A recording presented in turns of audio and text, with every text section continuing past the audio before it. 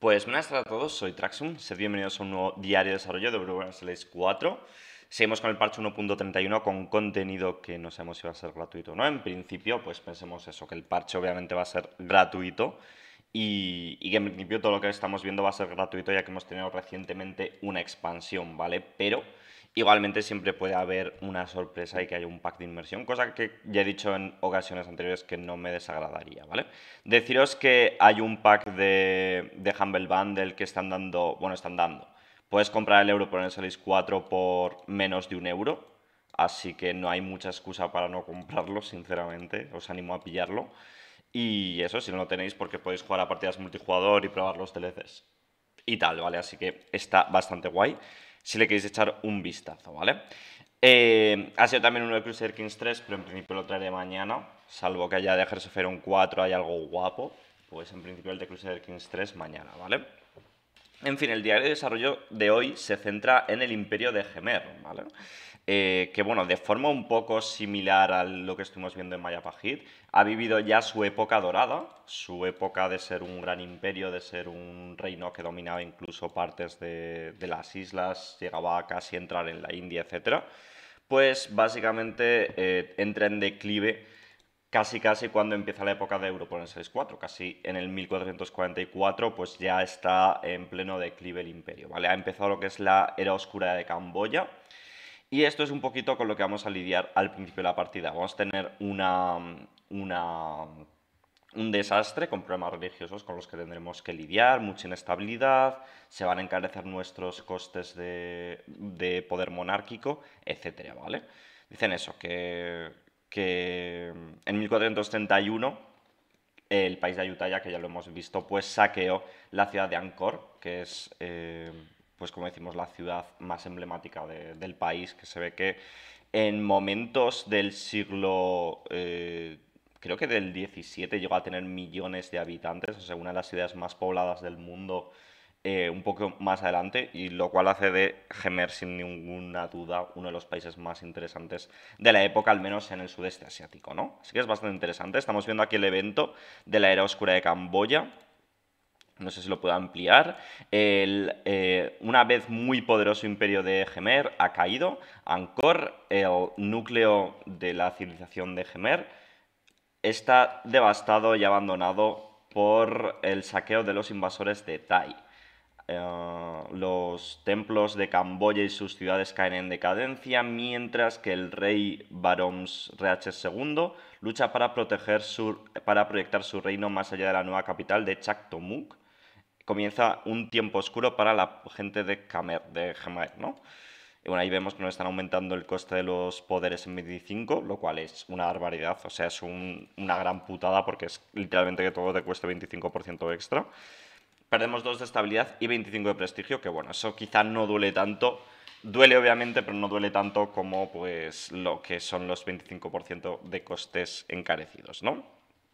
Como decimos, como Mayapajit empiezan con un desastre, es un poco menos malo que el de Mayapajit. El de Mayapajit es probablemente los peores desastres que hay en el juego eh, con la siguiente actualización. Así que eso, ¿vale? Nuestras prioridades van a ser consolidarnos y empezar a reconstruir y más tarde pues empezaremos a expandirnos, ¿no? Pero lo primero de todo es estabilizar el país y salir un poco adelante de esta crisis, ¿no? Aquí estamos viendo un poco el árbol de misiones, ahora vamos a comentar un poquito cositas que tienen, pero bueno, como, como podemos imaginar, pues lo primero que tenemos que hacer es restaurar la gloria de nuestro antiguo imperio y frenar el declive del mismo, ¿no? Debemos restaurar a su gloria la antigua capital de Angkor, eh, conseguir algo de unidad religiosa, mejorar el desarrollo de nuestras provincias rurales y cuando eh, consigamos esto el desastre terminará y Gemer podrá comenzar a restaurar el imperio.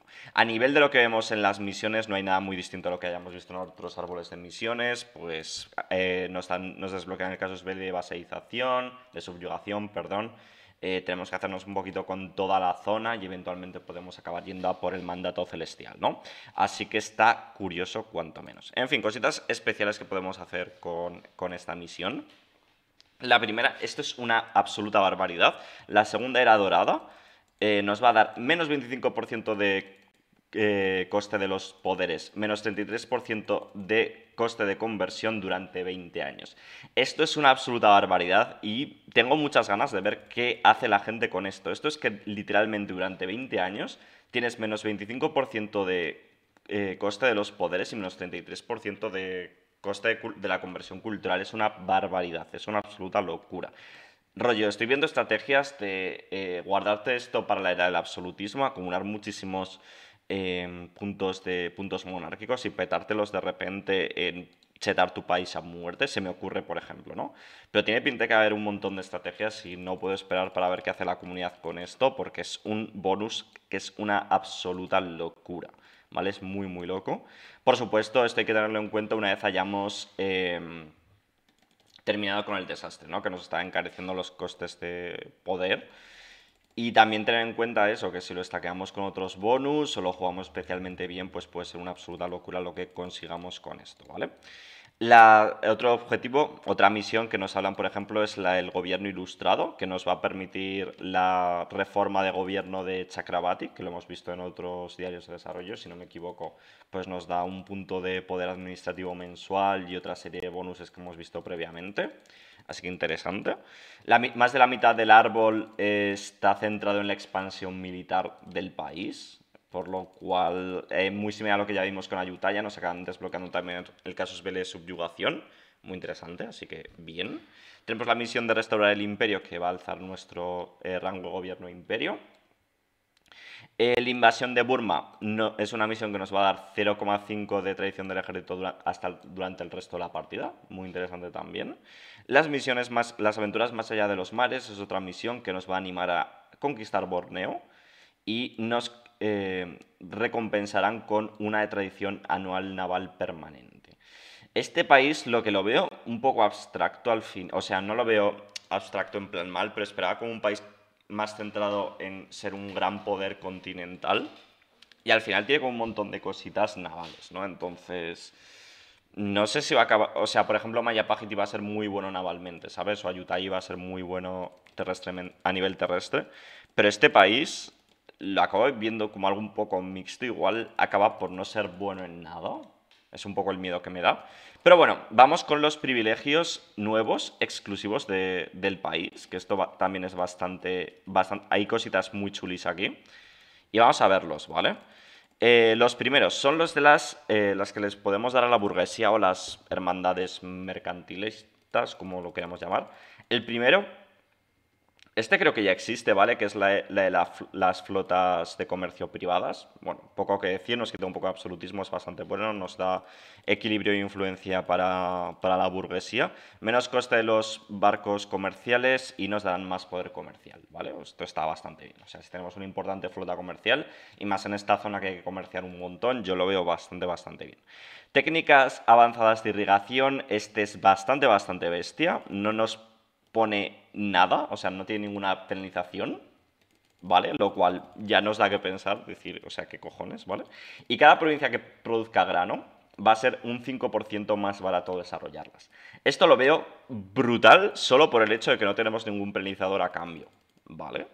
Y, el poder desarrollarlas de manera más barata, pues yo que sé, empezamos a combinar todos coste, los costes abaratados, empezamos a meter, yo que sé, eh, impuestos ponemos templos, etcétera, podemos acabar ganando una barbaridad de pasta.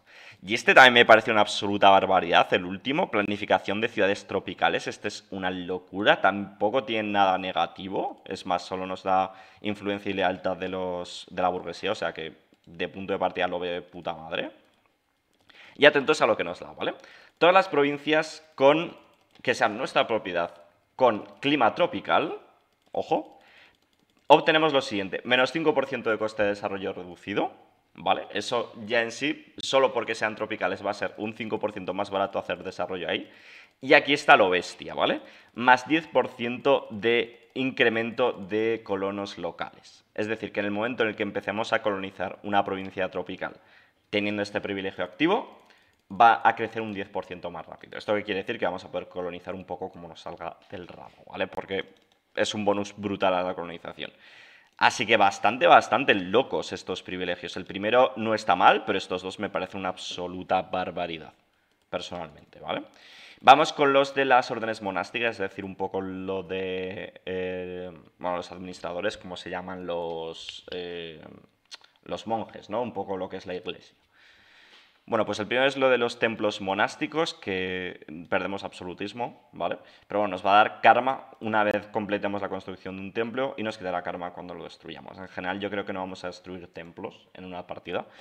Eh, lo veo más interesante para multijugador todo esto en general, pero tampoco está mal, ¿vale? Es que yo creo que en single player nunca vas a destruir un templo. En multijugador igual te interesa cambiarlo por algún edificio que te puede interesar más en un momento concreto, pero bueno.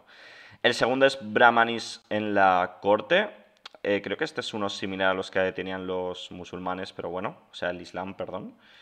Y, y, este lo que nos da es que todas las provincias que sean de fe dármica nos van a dar más contribución a la unidad religiosa, lo cual nos viene bien con el desastre este inicial que va a haber inestabilidad religiosa y que esto nos va a ayudar bastante a conseguir la unidad religiosa, entonces no lo veo mal para nada y que tengan menos eh, fuerza religiosa los misioneros locales, pues si consigues el 100% de la unidad religiosa gracias a este, eh, a este privilegio, pues la verdad que el otro te da igual, no vas a querer convertir, ¿no? Es como el hecho de elegir las misiones humanistas, o sea, las ideas humanistas, no vas a convertir tus provincias, pero vas a conseguir, en teoría, eh, la unidad religiosa, que es muy interesante. ¿no? Y finalmente, pues el monopolio de incienso, que aquí yo creo que no hay nada que mencionar, es como todos los monopolios, nos dan mercantilismo y nos dan lo que teóricamente es el valor de producción de ese recurso durante 10 años, lo que obtendríamos durante 10 años con ese valor, o sea que es como pillar una deuda, solo que con el, la parte positiva de que nos da mercantilismo, o sea que esto es brutal. Siempre es brutal, sobre todo al principio de la partida eh, a partir de 1600 y tal no interesa tanto, pero coño, esto es muy muy bueno y yo siempre lo utilizaría. Así que poco que decir por ahí, ¿vale? Y poco más, en principio no cambian las, las ideas del país, las he estado mirando. Eh, de hecho, vamos un momento a la wiki. EU4 eh, Khmer. No, son, no las veo malas las que tiene ahora mismo, eh, fijaros. No las veo malas, pero yo esperaba que las cambiaran, ¿vale? Bueno, ahí las estáis viendo, ¿vale? Las tradiciones más 10% de impuestos y menos 10% de coste de consejeros es la polla, esto, o sea, esto es absolutamente increíble, no tengo ninguna crítica, esto me parece brutal. La segunda es 10% de moral del ejército, no está mal tampoco, ¿vale? Sin más. Budismo Theravada, más tolerancia de la fe verdadera y más mejores relaciones. Mejores relaciones siempre está bien tenerlo, no es en plan muy bueno. Y tolerancia de la fe verdadera, pues tampoco está mal, ¿vale? No son muy buenos, pero yo que sé, menos de una piedra.